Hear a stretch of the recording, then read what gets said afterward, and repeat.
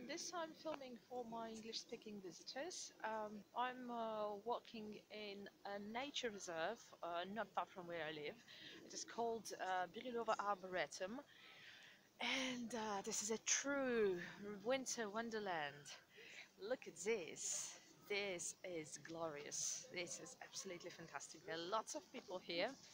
Um, over there are children um, sliding down the hill and uh, yeah you can see them doing just that. Um, lots of dogs walking and uh, also there are quite a lot of uh, skiers here as well.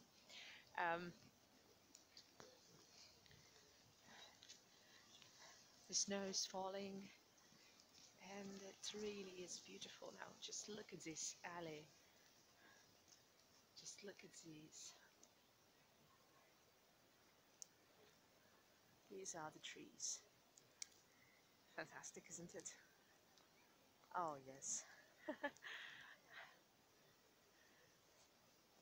I'm actually quite happy that um, in England uh, you had uh, some snow this year.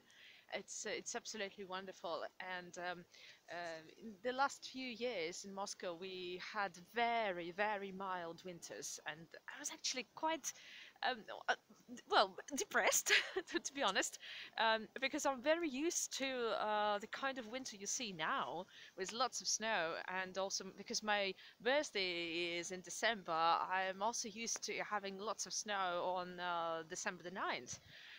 And uh, in the last few years, this wasn't the case, and I was um, I was uh, quite uh, quite unhappy.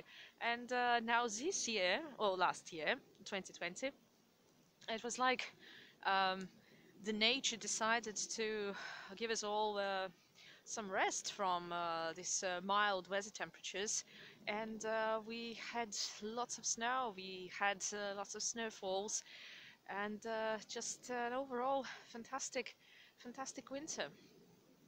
We are on track to have some frost um, around the 7th of January when we celebrate the um, Orthodox Christmas and uh, and I'm sure we'll uh, each of us will take time to walk in the wintry forest.